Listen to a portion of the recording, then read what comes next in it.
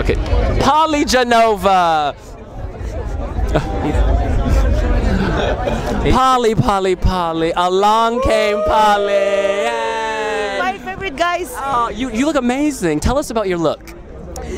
White, like a white flag. I'm waving the white flag just before we started because you know from tomorrow the game is on. The game is on and you are up there. You have these beautiful jewels. Mm, Thank you so much. It's a Bulgarian designer.